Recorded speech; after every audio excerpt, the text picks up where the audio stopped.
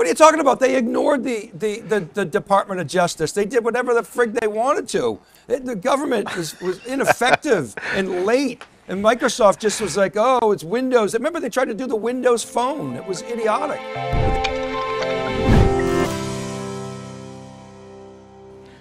Hey everyone, welcome to the Cube Pod, Cube guys, John and Dave. I'm John Furrier Dave Vellante. We decided to do a podcast on Friday because Dave, Dave's popular breaking analysis is recorded on Friday, and he does a great job. Ships out over the weekend. It gets massive traffic.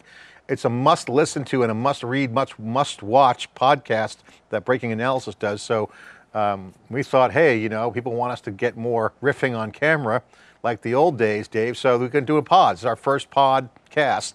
Uh, so it's not Cube Insights. It's just John and Dave, Cube guys, the Cube Pod. Uh, for people that know us and know the Cube, we're going to just free freewheel on uh, topics that are hot this week and hot on our mind, and things that we're watching, and you know maybe crazy guests come on, but we'll have some fun. This is we'll see where it goes. But How's we're it feel, John? This is this is like Back to the Future for you, right? You started this all. When did you start pod podcasting? When nobody knew what that was. What, Well, when I that? was I was at uh, I had a throwback moment last week at the Super Bowl weekend. I was down in Philly and I saw Paul Martino, Dave, and Paul Martino is a, a successful entrepreneur, uh, investor. Now runs his own VC firm. He started a venture called Bankroll Club, which was opened up for friends. I went down there to watch with, with the Philly fans. They were all disappointed with the game, but um, he introduced me as the, one of the pioneers in podcasting. So I asked Chat GPT, who are the original pioneers in podcasting, venture-backed companies? And it actually gave the answer. I was in there, uh, Evan Williams was in there, founder of Twitter, and Adam Curry of Podshow were the first venture-backed companies. But really, those original pioneers were Dave Winer, a bunch of other folks. We were all kind of hanging out together in 20, 2004 and 5, uh, blogging, blogging and, and, and podcasting in 2005 was my first podcast, was, was with Dave Hodson just sold his company to Microsoft, and he's been now uh, Microsoft. Then he went to Google. Now he invests. But yeah, it's been a long time. And uh, I was interviewing VCs back then and, and entrepreneurs in 2005, and raised venture capital and went belly up in 2009. Uh, 2007 is when I stepped down as CEO or forced to step down. But yeah, Why? What happened? Why? Why did? What, what happened with pod podcasting? Right? Did it, it did, did it die? But I mean, it kind of did. It was like a long winter, and then it exploded back, and now you, Spotify. Well, look at the, as, as the saying. saying as the saying goes in Silicon Valley, you know, the, the early people that hit the hit the wall first have the arrows in their back or or get bloody, as they say. The people first people through the wall are the bloodiest. We all went out because there's no business model. It was 15 years too early, but the vision was, you know, um, to build a podcast that was successful. I had a podcast that at one point had a million downloads on the front page of iTunes.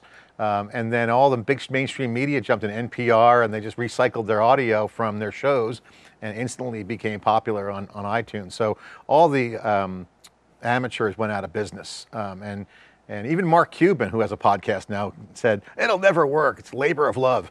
Um, I interviewed him. I, in fact, he, his first podcast ever was done by me. So that podcast was interesting. I interviewed, I interviewed Steve Forbes, all the VCs, luminaries, had a very popular podcast, and I started a network. And I asked ChatGPT why it failed. It was interesting, and they actually got it right. There was no early market was, wasn't moving, and bad leadership on my part, and financial difficulties, which means there was no real business model.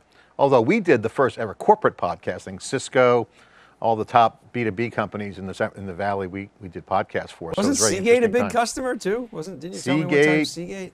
Seagate, Which Cisco, blew, that blew me away. They make disk drives, but they were into the podcast. Well, hey, more, more MP3s for Hey. fat files. More sell more drives. Get the video Absolutely, out there. hundred percent.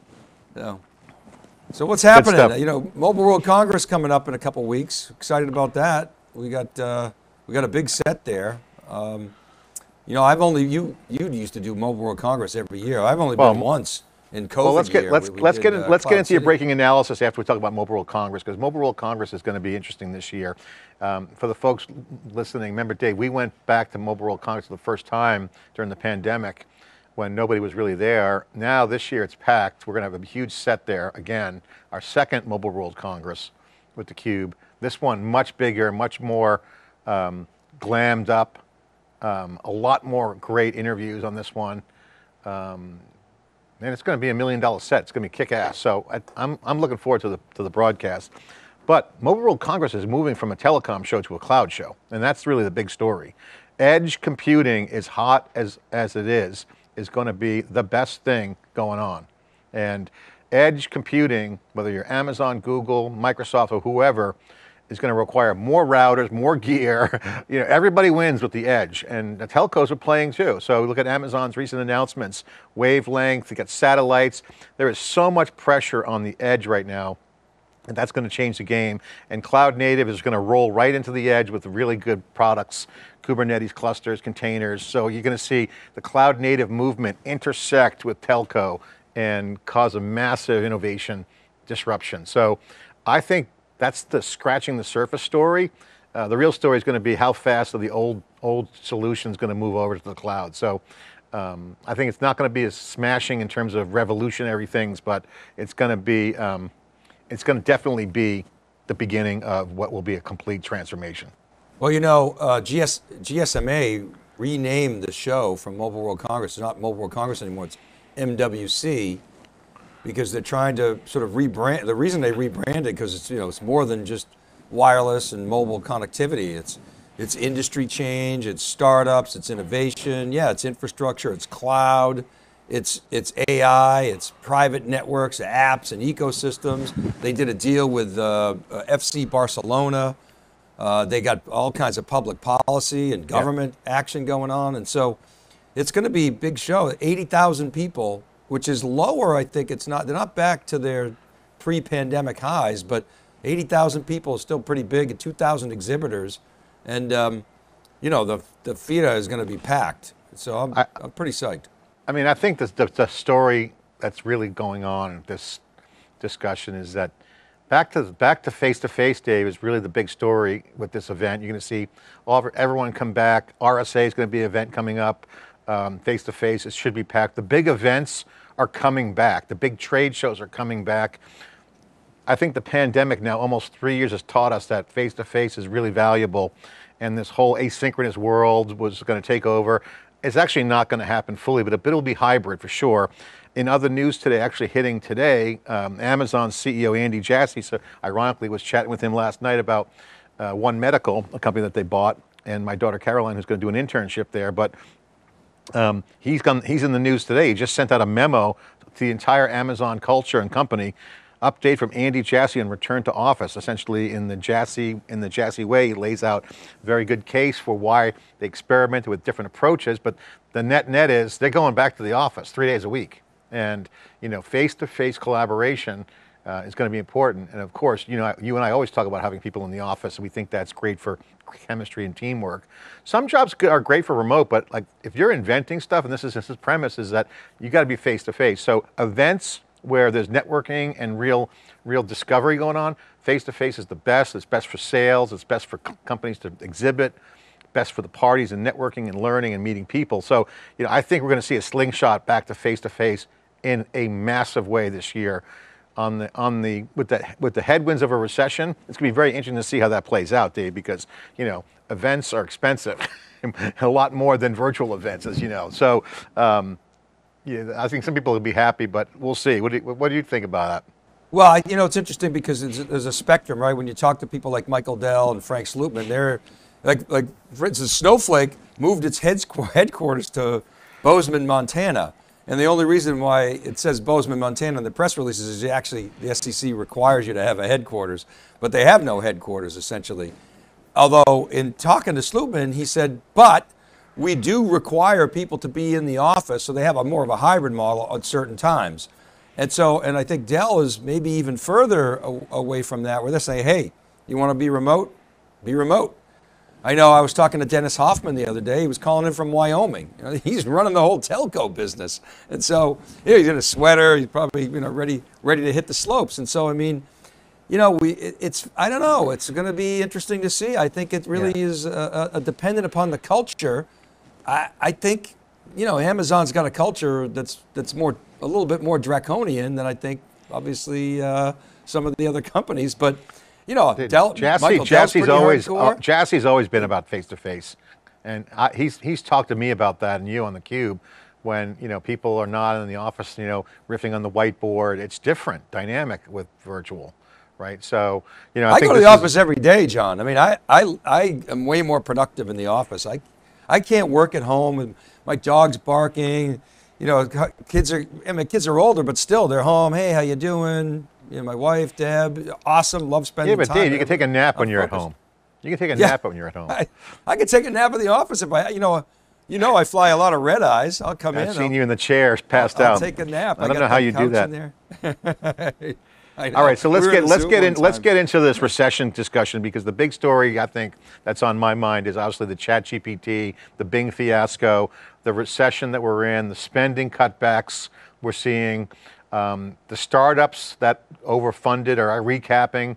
Um, interesting. I mean, Dave, this is a real problem. I think you're seeing a lot of digital transformation not slowing down, or at least somewhat slowing down, but not getting getting killed by this recession. The, the startups and the companies are getting killed. The spending for, for startups that are overfunded. Stripe, I'm just reading in the news today, it's going to needs to raise four billion dollars to cover the bill that they're repricing their stock options because of the they didn't make go, they didn't go public, okay, um, or modifying the stock options for the public offering, pre-public. So they didn't factor in the, that that that write-up. A lot of companies are doing down rounds, okay, so that's going to cause productivity problems. Yeah, Snyk had a down round. They were down 12, with only 12%, uh, right? I mean, you know, you were talking about layoffs. I talked to one company this week, Arctic Wolf Networks. They haven't had a layoff, uh, which is kind of interesting because, I mean, every company's laying people off. We, we haven't had a layoff, but, but most companies have. Yeah, I mean, it's really it's going to be very very interesting to see, um, and then also. Um, Will the crypto winter get completely crushed from the um, FTX? We're seeing a lot of people kind of shifting from crypto to AI because the Chat GPT, Open AI thing. So it's very interesting to see the alpha nerds move from crypto to the AI. In fact, some people are saying that crypto is going to come back because it is, it is more of a infrastructure shift paradigm shift than data. And I, I don't necessarily agree with that. I think, I think the data infrastructure is going through radical, real transformation that's providing value. This whole centralized, decentralized thing, I think still has some time to saute and bake out, but AI is booming. And I think open AI opened the floodgates and opened everybody's eyes that isn't in the industry about how awesome AI is now evolving to with large scale cloud, decoupling from uh, uh, hardware, software uh, systems, new architectures around handling large scale data. So I think we're in an inflection point around how data is going to shift into the AI because now with cloud growth, as you know, we've been covering the data infrastructure for big data for, since 2010, Dave. This is the moment for AI. This is going to be a, a 20 year run. I think this is the beginning. Even though that there's a lot of controversy around Bing, which we'll get into, but AI is, this is not over, people. I don't, and I don't think. I mean, it's not to me. It's not either or with AI and crypto. I still believe in the basic crypto premise that you know you and I have been talking about for years, which is the the fundamental infrastructure that runs the internet is based on protocols that were developed, you know, whatever, 30, 40 years ago and have been co-opted by the big internet giants. And there's a lot of really interesting developers doing great work in crypto. Yeah, there's a lot of scams, of course, I get it. But, you know, that fundamentally there's some real innovation going on. And I, I, I'm still a believer. I think, you know, and people say, you know, they poo poo Bitcoin. Oh, it's not a real currency. Well, I don't know. What makes the dollar piece of a piece of paper with a do- you know greenback, you know, uh, uh, worth something? It's because the U.S. is behind it. Well, if enough people in a community are, believe in Bitcoin, it's going to survive. In my and in my opinion, it will.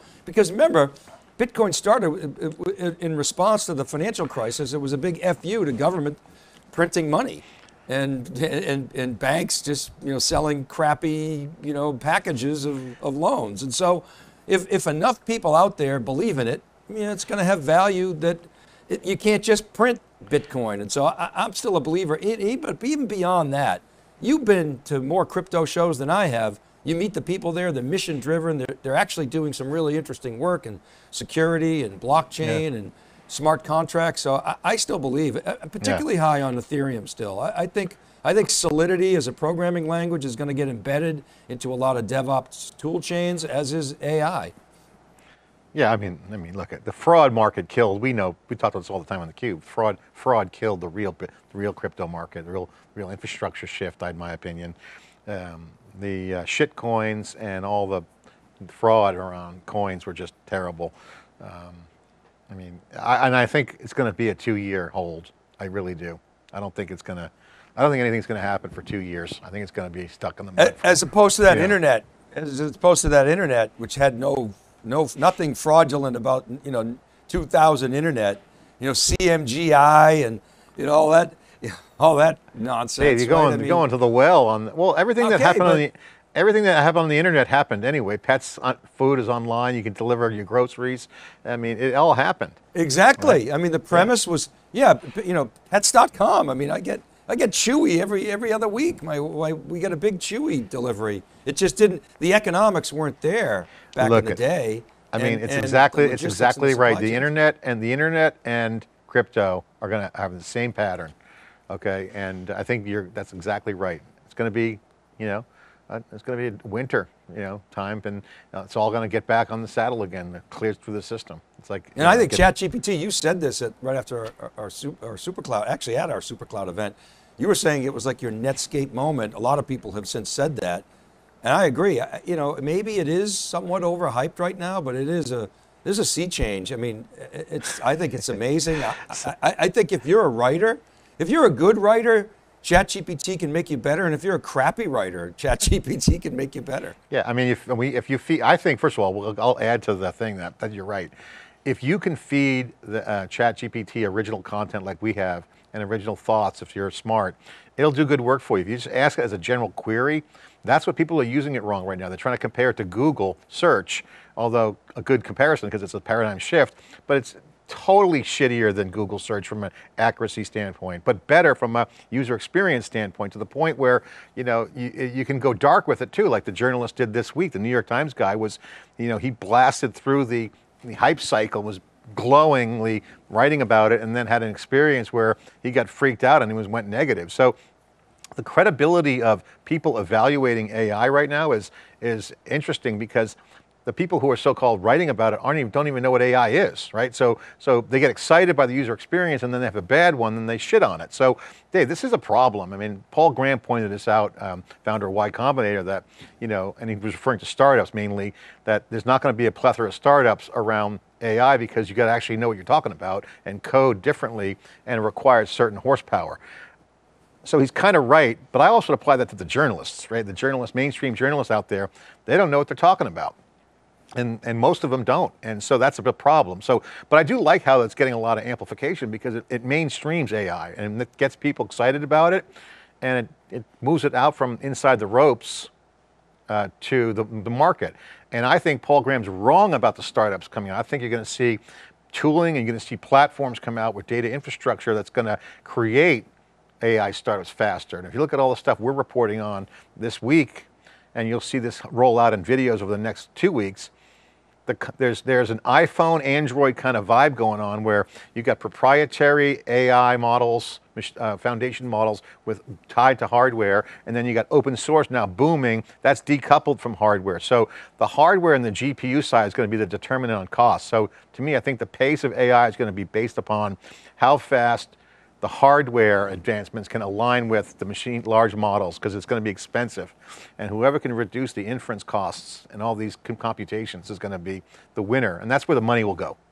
Because Totally agree. it's hard as hell to do these things with Real time AI inferencing is going to be amazing. I mean, okay, it's it's early days, and you know the avatar thing, the Reddit, you know, posts uh, on on Bing, they're funny, and so you are, yeah you could sort of fake these systems out, but I mean the potential is enormous. And, and to, to your point about about you know real time AI, it, it, I mean there's so many use cases and fraud detection and, and, and streaming and I mean it's just it's endless. I mean things you can do in hospitals and in, in, in entertainment venues and in, in oil and gas. I mean it's just you know and then you combine that with what we we're talking about before on MWC, you know private wireless and 5G networks that are basically going to bypass the telco networks and get installed and you're seeing the cloud guys do that and doing a reach around there.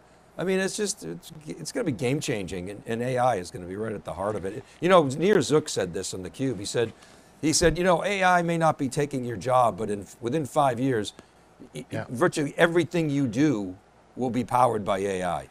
Yeah, I, I, I, love I love the AI, and I think I think it's people who are putting it down right now really don't understand that this is just the beginning. Like it's not even first inning AI yet um, and that, that these large language models can integrate well. I was talking to um, Amr Awadallah, founder of Cloudera. He's got, a, he's got a startup and we had some experts in here uh, from KubeCon, Neural Magic x MIT. You got the neural network crowd, got the large language model, you got foundation models. We had the Madrona Venture Capital's former Amazonian uh, from AWS in here, did IoT, which knows about the big data. They're all pointing out to the fact that unlike old AI and old data, the integration of data is critical and it's easier to take a large language model and one, put it on, on hardware that's usable and, and lower cost, but integrating in other data is easier. And that's a big part of. You're going to start to see that fusion. And that's where all the, all the smart money is pointing at right now, and saying don't count out this trend. Now, the laughable thing about the Bing integration of OpenAI is that it's, it's they're trying to make it like personable. And what happened is it had a dark moment where it was gaslighting the users. And it was like, it was, it was pretty incredible, Dave. And you, and you, pointed out a few articles I didn't read, but the New York Times had a big story on it, and there was some other stories around it where it just went, if you just query it the right way, it just goes super dark. It was hilarious. weird. I mean, you've entered a time machine and you went back in time and, and it, they were arguing, ChatGPT was, uh, Bing was arguing about the date. It was just, it was, it was hilarity and, and really stupid. But but I guess you know what? Here's what I want to say about about all. I want to bring it around to public policy because I think it was earlier this week uh, the lone Republican I think on the FTC uh, resigned. It was one of the, the I think it was a Trump appointee and and there was interesting backlash. The Wall Street Journal had an article kind of ripping Lina Khan, uh, who has obviously has an agenda. The, the, the other end of the spectrum said, oh, you know, monopolies are bad, you should take them apart. All this stuff. I will tell you this. To me, ChatGPT and all this generative AI, it represents a real disruption. It's why Google went cold, code red. You know, you've seen all these articles. My point is this, that that market forces have market forces have been much more successful at disrupting big tech historically than has the government.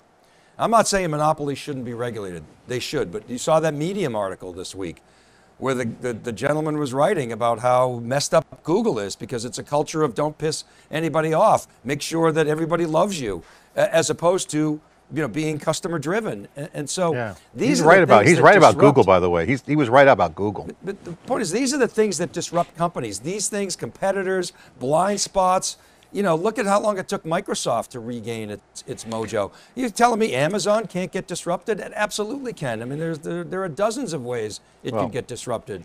So I, I just, I, I'm, I'm always cautious when I see, you know, the government come in and try to, try to, you know, micromanage markets. I'm not, again, I'm not saying if, if companies are breaking the law, like by the way, I believe Microsoft was with, with how it dealt with Netscape and its bundling, or the government was just too slow. But ultimately the markets yeah. were the determinant of the disruption.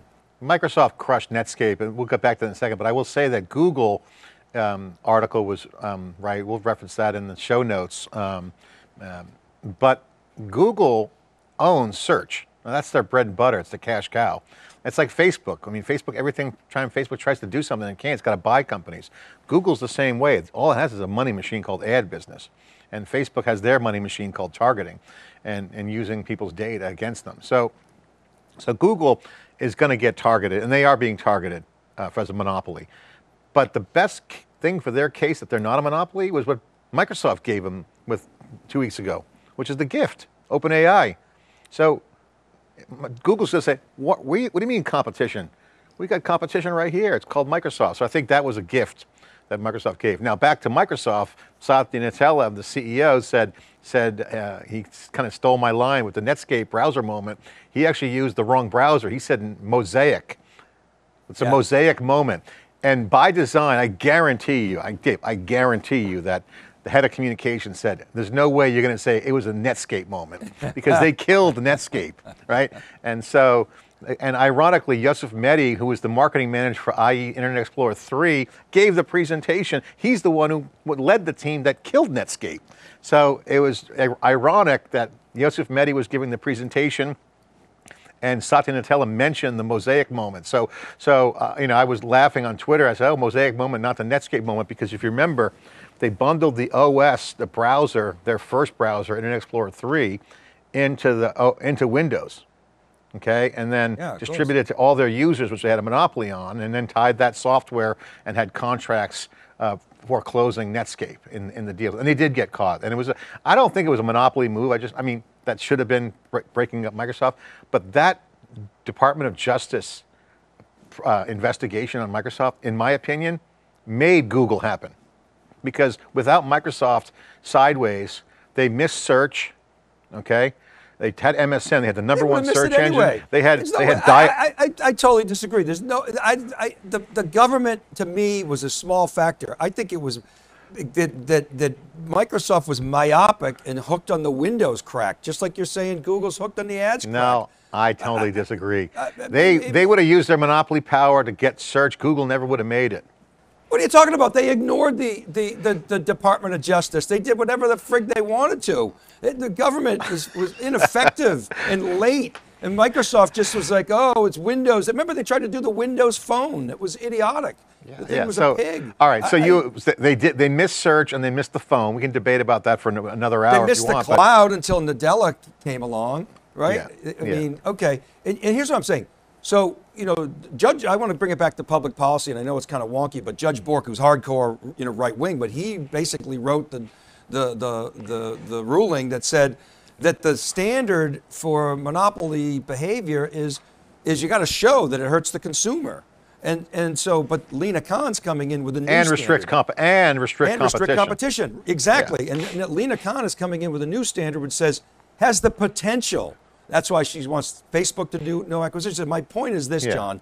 So, so even if even if Microsoft was was was stopped from doing Internet Explorer and bundling, it wouldn't have friggin' mattered because they would have blown it anyway. Netscape at the time, Jim Barksdale said, "Oh, it doesn't matter because we're going to do enterprise apps anyway."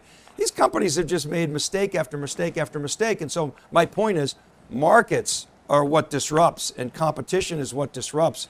And the the, the less government, my view, uh, involvement, the better, unless they're breaking the law.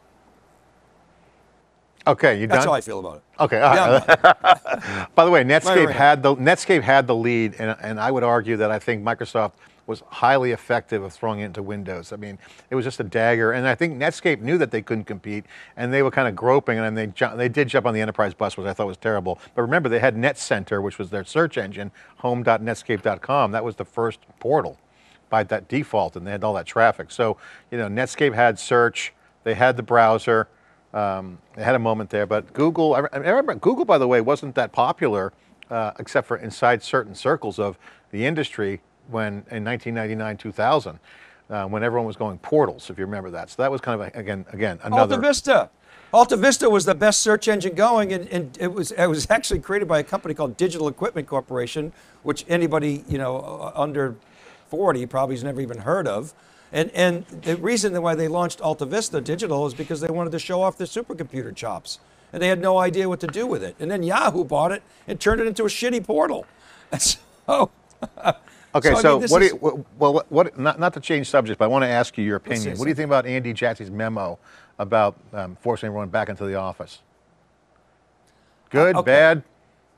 I personally, I like it because I, I'm a in the office, face to face, you know, type of type of individual. I, I do think it has potential backlash, but I don't think he cares. I think they want to have a culture of of collaboration and face to face. Um, you know, I think you know this. A lot of people just the the Amazon rejects the the organ sometimes, and you got to have you got to love the the leadership principles. You got to drink the Kool Aid, or you're not a good fit. So I think Yeah. it's okay for Amazon. I don't think it, it, it applies to a lot of companies. You know, I mentioned Dell, I mentioned Snowflake, and a number of others. That I think remote is is the right or hybrid is the right model for them. I will say this, John. I do think there has to be planned face to face. I think those companies that get that right are going to be more productive. I want to ask you about earnings season. We just had the big tech, we, big tech companies ran earnings. We ran stories on siliconangle.com. We had commentary. Dave, you did a breaking analysis on some of that. Um, all the big guys showed numbers down, but you know some numbers were up. You saw Cisco. some- Cisco, Cisco had good guidance. So, um, and, And SaaS they beat. comp- and they and they beat. They grew six, seven percent in revenues, and they beat. You know, by I don't know, 179 million in the top line. You know, a couple points, a couple cents on the on the EPS. So, you know, Cisco, John, you know, to me has always been a bellwether. I was actually really excited to see that. Yeah, I, I didn't. I didn't see that coming. I got to say, I thought they were going to have another couple quarters of hits uh, with the supply chain and and the cloud growth, but uh, it looks like they're doing great. So you had that earnings, you had Microsoft, you had Amazon. Cloud growth seems to be slowing. We have Fitzy over there at Platformonomics reporting today. Uh, Charles Fitzgerald. Um, Fitzy had a great post today about Yes. repatriation. Yes. So um, cloud growth is, is slowing, but as he points out, rightfully so, the data center growth is slow too. So overall market secular winds are, are kind of head, headwinds for the industry. Um, I just did an interview with uh, someone who's on the, uh, uh, in the Kubernetes world in the, in the cloud native area. And the edge is forecasted to be very big focus this year, so in growth. So if edge comes online, Dave, what happens to that growth? Is it going to is that going to be impacted by the recession, or do you see edge? So cloud providers aren't growing as fast, okay, but they have higher revenue bases. So still, still numbers aren't bad. I mean, you know, Well, let's look at let's look, let's talk about the numbers. So so I, I just wrote about this. I I have the full year revenue estimates at 160 million, uh, 60 billion for the big four cloud guys: AWS, Azure, GCP, and Alibaba. 160 billion, and so and, and I got them growing at 21 percent in in 2023 combined. Now remember, the overall market is forecast to grow at four to five percent. So the cloud hyperscale is growing 5x the overall market, and they're huge, right? So, and I don't know whose numbers you, you look at, but probably I don't know 20% of the workloads are in the cloud. Everything else is is uh, is on-prem. Your point about the edge, I think, is really interesting, and I think that's where a big, big disruption is coming. We talked earlier about AI inferencing. I think new semiconductor uh, technologies. You know, I'm high on ARM. Um, I think it, it, we, we called Intel's problems in 2011, 2012 when PC volumes peaked. I think ARM has won the volume game and I think is going to win at the edge.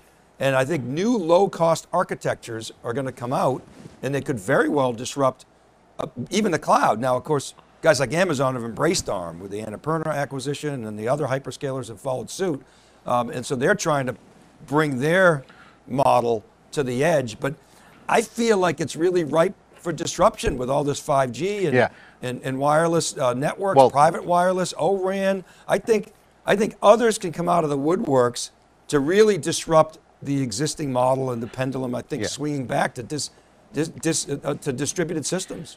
So I think that I think the, your analysis is right on the money. And I would add that to um, bring repatriation back in uh, on Fitzy's post is that is, is that he calls it uh, re, repatriation patriot, also called repatriate. I thought that was a clever play on words because he's got he's, he's good at that.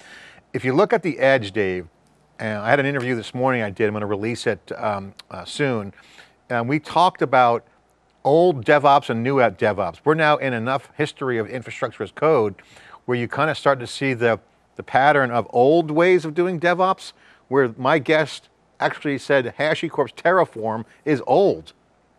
Okay, Really? and not inadequate, and that's interesting because they're HashiCorp's considered, you know, very sexy uh, company for DevOps uh, fanatics and Yeah. fans like us. So, so if you look at if you look at the DevOps, there's now a new lens, new, a new DevOps vision. And if you look at some of the architectural changes with Edge, you've got public cloud, on-premise cloud, and now you have Edge cloud. You just mentioned that. That's three separate cloud operating environments acting as a unified infrastructure, AKA super cloud. Okay, so let's just take this for a second. If you believe that to be the architecture to have happening, then you got to believe that repatriation is the antithesis of that trend because the purpose of repatriation is to take stuff off the cloud and bring it on premise and run it on premise versus the cloud to save money. But that kind of conflicts with the idea of having an architecture that includes public cloud on premise and edge. It's not about repatriation, it's about the replatforming. So the question, Dave, is is repatriation bullshit? Yes. Or is it just Yes, is what I said true? Bullshit. I mean, it's happening in little teeny pockets, but it doesn't show up in the numbers. You know, people always whispering, "Hey, as an analyst, Dave, you should check out that repatriation trend." I see, you know, IDC gets paid to do a white paper on repatriation. It's it's it's just not. It doesn't it doesn't show up in the numbers. So sorry to my friends at IDC. I've reported on this the many times. The the repatriation myth. I think you know Fitzy as well. But I will say this. You know, talking about the telco transformation. I do think that the cloud is a real threat, and you know this. We talked about this at uh, you know 2021 at Mobile World Congress. The cloud is a real threat to the telcos, even though some are are, are, are partnering with them.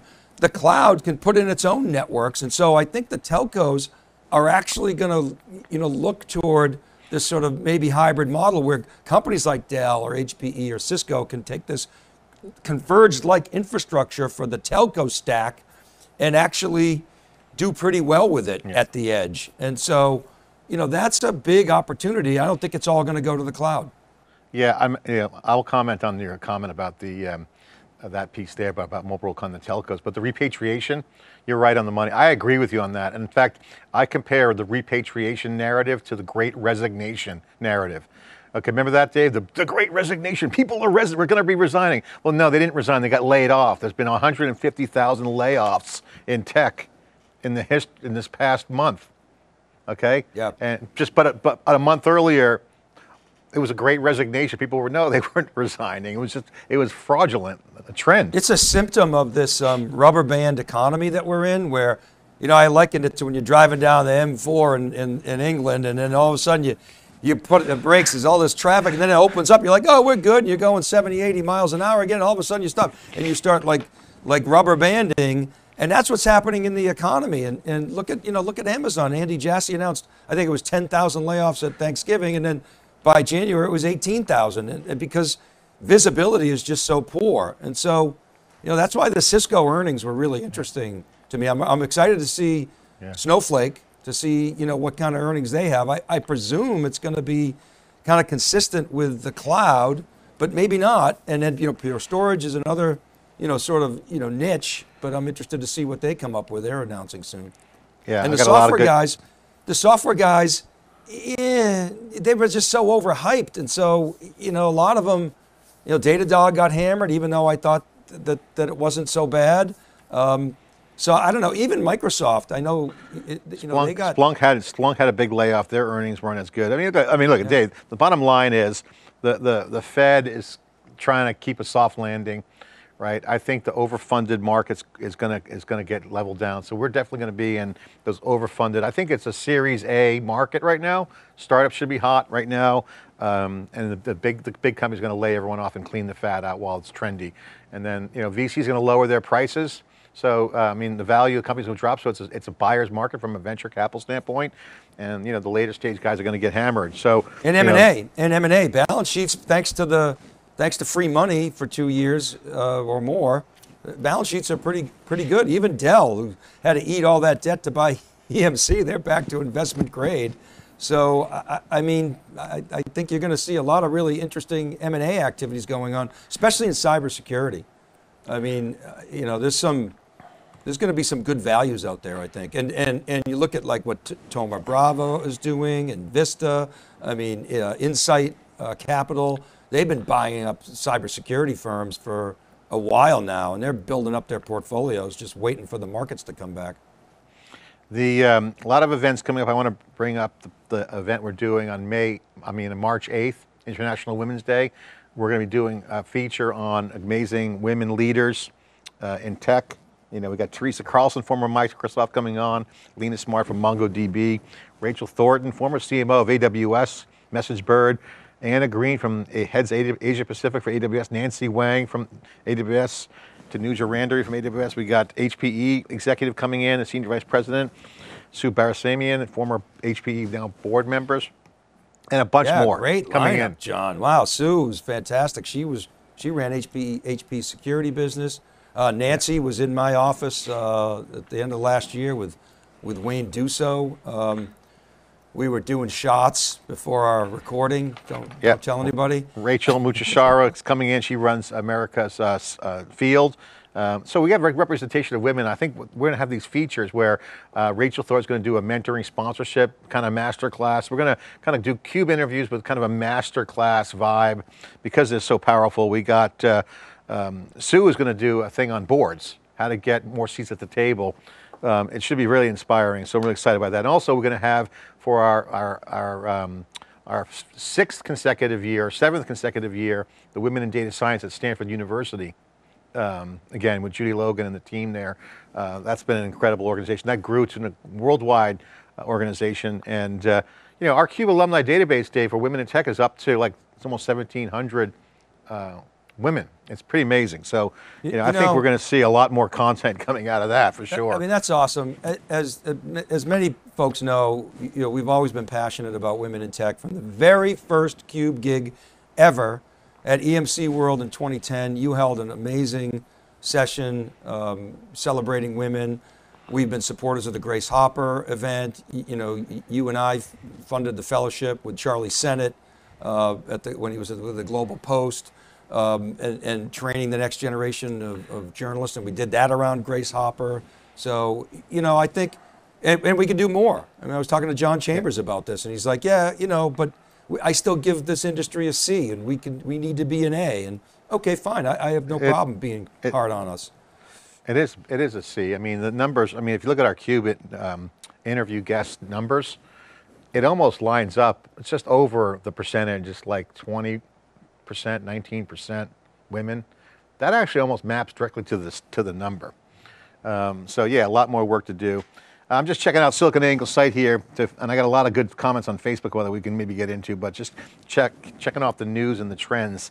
Um, the Bing chatbot, you know, is key. Still funding rounds, Dave. Still seeing seed rounds, seed rounds north of 15 million. Okay, that's and I saw one as high as uh, almost 30 million. Um, there's some uh, a blockchain um, grain chain just got funded. This is agricultural blockchain, which I think is a compelling use case for for blockchain because of the immutability of, of managing supply. Um, the OpenAI just posted a blog post from Sam um, uh, Altman, who's the, uh, the, the CEO, because it went rogue. They had this whole policy. They're totally um, virtue signaling, like, "Oh no, state, we're gonna, we have a policy," and he gets this long memo um, after the bizarre chat behavior with Bing. Um, they just issued a statement. It was really, I thought it was pretty. I mean, it was informative, but it was really more like to keep the government off their back, probably. But it was, you know, it's like we're, we're on top of it. We're going to stay down. I thought it was, it was, it was more See, virtue um, signaling than anything Some else. other news: uh, uh, uh, Susan Wojcicki is stepping down from YouTube CEO. Didn't didn't um didn't Google start in like her garage or was it Esther's garage? I think it Um, was her sister, and she dated Sergey. Okay, that was the so big she's stepping down. controversy. I don't know DocuSign laid off not, but- 700. DocuSign 700 layoffs. Datadog, we talked about that. They beat they they they beat their growth, but the stock got crushed. Um, I I kind of like Datadog, so good stuff on SiliconANGLE. That's where I go for my quick news scans. Um, Yeah, Datadog. Datadog is a company that's just it's weird. They're a weird company. They're, they've never been on the cube, and uh, uh, one of my friends was the seed investor over there. We know them pretty well. They just they're they don't they don't they're not really media friendly. Um, we'll see. Um, you brought up policy. Did you see that uh, the House Judiciary Committee sent subpoenas at Facebook, Google, Meta, and Amazon? Yeah, That I mean the gonna government. be the government is going after you know big tech. Um, I, you know, we got balloons flying over the United States from China.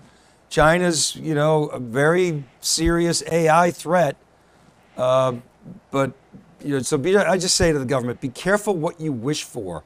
You know, there's there, there's national defense interests that you got to Yeah. balance with your dogma. Um, so don't, let markets let markets do, do their thing. Is uh, uh, believe me, Amazon, Google, you f- uh, even Microsoft. You feel like they're invincible. They're not invincible. They're full Yeah. of hubris. They think they're you know what doesn't stink. They got blind spots. You know they're they're bigger and slower. You know it's Clay Christensen. It's that those those rules still apply. So let markets play out. If they're breaking the law, they should be punished. Yeah, Dave, you know, everyone knows my rap on the government. I think we got bigger fish to fry. I think the markets will shake things out. I do agree with you there. You're a little bit hardcore on the tech companies, typical East Coast mentality. Ha ha, you know, not living on the West Coast. We're all, they're all good people out here, trust me. Um, but the issue with the government, they got bigger fish to fry. National security, Dave, is huge. You saw the explosion in Ohio this week, um, real chemical poison in the air, and the water table you know that the derailed train is that is that was I'm I'm a conspiracy theory all the time and that jumps out at me. It's like hmm, train derailment, toxic poison in the water table. Hmm, is that a little paper cut from a below the red line kind of situation? Our government has got national security issues, and people who make the laws and enforce them are mostly lawyers. None of them really have a good clue about tech. Hopefully, the new generation will solve that. But national security, cyber warfare our doctrine needs to be changed. The line, the red line of when they cross that, people are operating underneath it. Banks, hacks, it's all, it's all been happening. And I think, you know, I believe that a lot of the crisis in this country has to do with foreign, foreign uh, manipulation. We saw the elections, um, see other things. It's all going to come out in the open. I mean, this wow. is going to be, it's going to be, I think the next five years is going to be like the lights going to get turned on and be like, oh, that's Russia, that's China, that's the open source came from here. That's why supply chain on software is big right now. Supply chain hardware is huge. China's huge, Russia, it's all going to come out. It's all going to be next five years. I think we need a better public-private partnership in, in, in tech. I think there's no question about it. And you know, I have no problem if the government came to big tech and said, look, you guys got to collaborate on cybersecurity and we got to we got to attack this problem, you know, together Let's partner on that. I would have no problem if the government said, okay, Apple, you know, you got to you got to give some supply to Intel. If we're gonna if we're gonna put 50 billion dollars into building, you know, factories in the U.S. for semiconductors, then Facebook and Apple and and and Google and Amazon and Microsoft, you got to put some cash, take some cash off your balance sheet. You're swimming in cash. You got to put some dough into this into skin in this game too. Let's partner up on that. I mean, I think there's so many things that, that, that governments and big tech could be doing together as opposed to, I'm sorry, I'm not a huge Lina Khan fan. Her just coming can, in with an agenda, trying to just you know take out big tech. I think it's just it's I think it's bad for the country. I think it's misplaced. I'm not saying that big tech sh- shouldn't you know be be watched closely if they're breaking the law, but show me where they're breaking the law. I'm not saying they're not, but focus on that not yeah, on what might happen if Facebook acquires some company that nobody's ever heard of. I mean, it's, you know, because yeah. they did it with WhatsApp or they did it with Instagram. And okay, the markets will ultimately take care of that. You know, I had a great chat with Jay Carney when he was SVP of comms at AWS or Amazon for Jeff Bezos. He then hence left and gone to um, Airbnb. Um, because he got someone got promoted over him. I think that was the dynamics there. But but he used to be the press secretary for Obama, and he and I had a chat about the cube, and also we I asked him about the whole monopoly thing. And he's like, how are we how are we hurting consumers? We get things faster and lower price. Uh, and, and That's so not the standard argument, anymore. That's not the standard anymore. It's, it's Lina Khan's. Well, maybe they'll hurt, based on her, you know, opinion.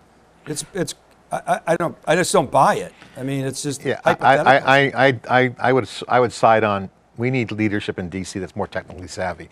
Uh, speaking of tech savvy, Dave, this we're coming up on the 50th anniversary of the first cell phone call in New York. Where were you? Come on. When when where were, when did you get your first cell phone?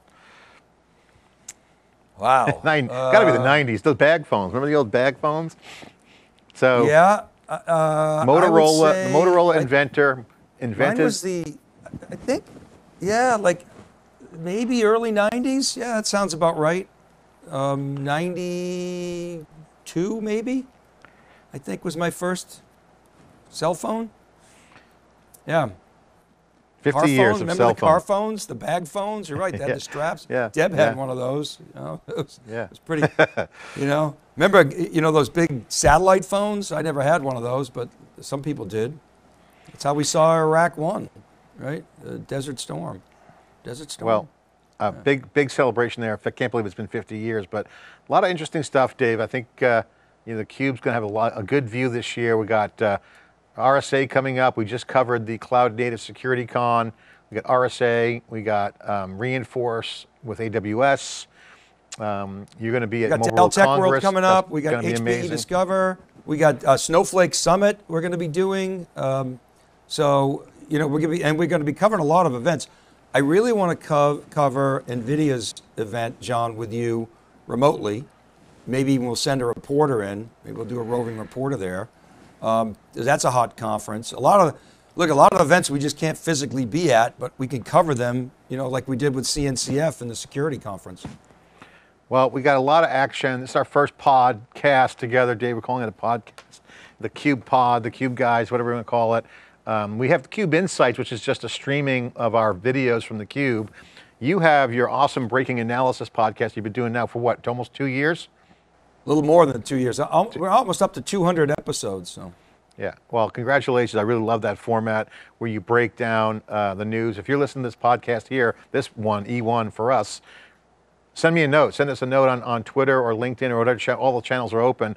But you got to check out Dave's breaking analysis because he breaks down every week a deep dive. And, and in fact, we did this podcast mainly to kind of break down because you basically put three stories or more in one post. You really kill it. So really do a great job, and it's free. So I can't believe that's free, because you know other companies charge like big money for that. So that kind of that kind of quality. So great, congratulations, and lo- love that podcast. Well, I just want to say, you know, you and I have always believed in free content. We, we want to produce content that educates and inspires people to action. That's always been our mission. And uh, so thank you. Appreciate that, John. The um, let's talk about your breaking analysis. What did you do your breaking analysis on this week? You, you recorded today. Let's go a little teaser here. Yeah, so this, this we started our Mobile World Congress, or MWC coverage. And, you know, I'm not sure I'm going to do a part two. I, I wanted to get ahead of it because it's so big. And, uh, and this is not my wheelhouse. You know, I'm more enterprise tech. Uh, but basically, what, what we did is we laid out the, the stack, how the hardened stack of the telcos is, is disintegrating, disaggregating, just like we saw in the 90s with when, when, when competition got layered and horizontal. Now, there are some differences, of, of course. You know, we didn't have really AI back then. You didn't have kind of converged infrastructure blocks, didn't have as sophisticated analytics, but nonetheless, a lot of the trends are, are very similar. And then what we did is we took a look at how some of the enterprise players, the Dells, the HPEs, the Red Hats, VMware, the, the big cloud players, Oracle, how they're doing inside of the telco vertical. And it's interesting, many of the players, particularly the cloud players, their presence in telco is actually higher. They have more momentum in telco than they do on average. Um, some others don't. And so we took a look at that. And then we took a look at some of the key issues that we're going to be focused on in uh, Mobile World Congress, like how fast will ORAN adoption occur? What about these private wireless networks that you don't really need the telcos? You know, will the telcos adopt the cloud? Some of those key issues that we'll be talking about on the Cube. I got to get your reaction. I'm just laughing at my Facebook feed, not in a good way, because I got great, I got great followers on there. A lot of them are distinguished techies from MIT, Northeastern, great schools like that, and, and, and industry buddies or, who have been around the block. And one of the things going around now is the whole 5G versus 6G. And, and um, Bob Frankston, who the inventor of the, of the spreadsheet, says, um, just skip to 7G and integrate ChatGPT. After all, if you want a smarter network, go go right to the end game. And then someone goes, "What about Xfinity's 10G?" So Xfinity is advertising 10G, but it's not wireless. It's just they're 10. They're calling it 10G. So you know, it's just marketing stuff. But you know, this comes back down to Dave the question of it as telcos advance their spectrum side on the spectrum side. You got 5G right now out there. 6G hasn't really been defined yet this could be an opportunity to actually cut the cord. I mean, if if if the telcos can come out with great wireless transmission to get that 300 meg um, level of up up speed or gig, it could be really challenging to the wired world of the Xfinity. So um, when you're out there, poke around and let's see if we can find some stories around who can weigh in on how real is 6G.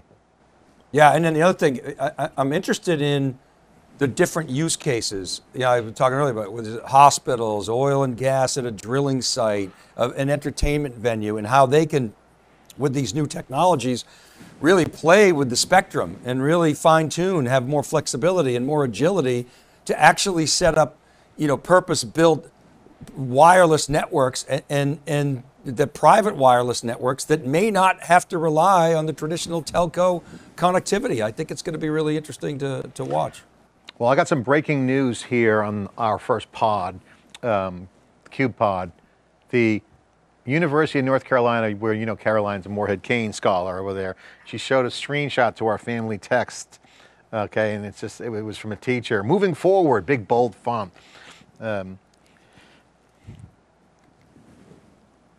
on the next quiz, please use your own answers and show your thought process. Bullet, using ChatGPT to write your answer is considered plagiarism. Please make sure not to plagiarize sources in your answer. Though we won't require citations, we expect you to put information in your own words and show your original thinking. So there it is. Schools are starting to ban ChatGPT. Are you for or against it? I, it reminds me, John, of when I started Wikibon, and I was I was kind of triggered because the uh, the the teachers at my, our local the Bromfield school, local school, said you cannot use Wikipedia. I'm like, wait a minute, as a source. So I think that's a mistake. Here's why. I think that that machines have always replaced humans. It's the first time in history it's done so cognitively, and I think people have to learn how to interact with these you know cognitive machines in new creative ways. I think it's an opportunity and I think you should be transparent. I use ChatGPT to create this. I use ChatGPT sometimes for my breaking analysis. I, I actually co-authored one of my, my, my breaking analysis with ChatGPT, but I'll tell you this, if yeah. it was just ChatGPT, it wouldn't have been as accurate. It wouldn't have been accurate for a lot of things and it wouldn't have been as, as insightful. I added that creativity. So yeah. I think it's a missed opportunity. I totally agree with you. I think it's a mistake. Unequivocally, it's wrong. I think these institutions have this dogma and education sucks in general. And I think what I would do is I'd go radical and say, let's grade whose chat GPT is the best. Right. How like, do you come on, let's who's see the it. best at you using know? it, leveraging Let, ChatGPT? Let's see who can feed the AI the best stuff. And uh, you know, you know prompts, my rant. Better creativity. I mean, you see yeah. in ChatGPT when you play with the prompts, you get dramatically different responses. And so a lot of it is the creativity that you put into the machine. There's Big a miss. famous there's a famous clip with Steve Jobs back in the early days when he was younger, explaining the condor flight time and the rabbit and the human was ranked lower, but given a bicycle, they were number one but between two distance. And, and his point was, you give the man a tool they will do things with it. So he really had this whole builder culture. Andy Jassy has that same mindset. You give people that tool, that's what this AI is. So to me, it's a mistake and, and um, to not let young, young minds understand the new tooling. I think it'll make them run faster, make them be smarter, and make them adjust. And I think, uh, and, and, plus, this is at the beginning. It's only going to get better. ChatGPT is only going to get better. So I think I would flip it around and say, who's good at making AI work? Because that's going to be the best physician, that's going to be the best writer, that's going to be the best practitioner. AI will be here forever. It's never going and, away. And, and North Carolina is surprising because North Carolina was one of the first and, and most prominent data science, you know, uh, uh, uh, uh schools. And it seems to me, John, they should have a course on how to yeah. how to better leverage Chat GPT. It should be a part of the curriculum. Yeah, oh boy, oh boy. Well, Dave, this has been a great pod. Um, first one. Um, let's get into uh, next time. Let's we'll probably review next week pri prior to no, well more information on, on Mobile World Congress and another week in the news and, and you know we'll share a perspective. But you know, um, it, love it, John. It. I love spending that time with you. Yeah, I mean it we, flew we, by. Always does when I talk to you. All you right. got such great insights. All right, all right. All right, hey. all right. If you like the pod, respond, text us, leave a comment, go to our Twitter, leave a message, share it. Um, give us feedback. And we're going to bring guests on too. It's not going to be just John and Dave. We'll bring on some some some great guests uh, over the next couple weeks. Try to keep the frequency weekly on Fridays and ship it over the weekend with breaking analysis.